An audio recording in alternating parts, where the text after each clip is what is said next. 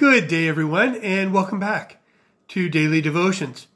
Our daily devotion for today, Wednesday, December the 9th, comes to us from the Apostle Paul's first letter to the church in Thessalonica. So 1 Thessalonians chapter 5, verses 16 to 24.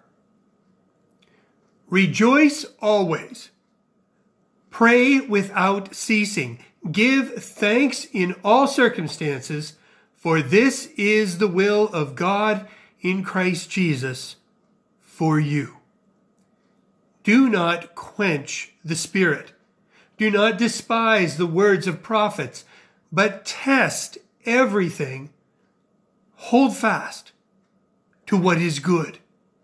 Abstain from every form of evil. May the God of peace himself sanctify you entirely, and may your spirit and soul and body be kept sound and blameless at the coming of our Lord Jesus Christ.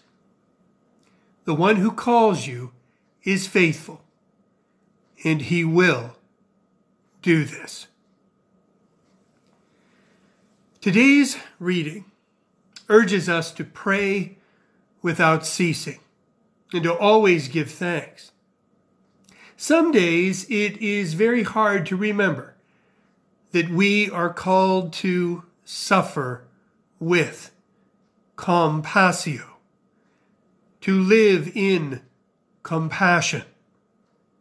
What can it mean to pray without ceasing in the midst of so much pain, despair, and injustice?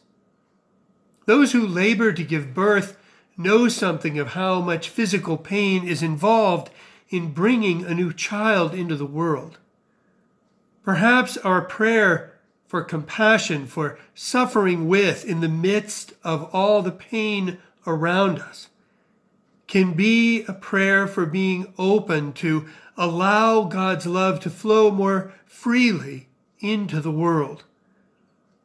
In this time of Advent, as we remember again the waiting, the anticipation of the birth of our Messiah, we are invited to listen closely to prophetic speech. Let us pray. Laboring God, help us to hear your voice in the prophetic speech around us.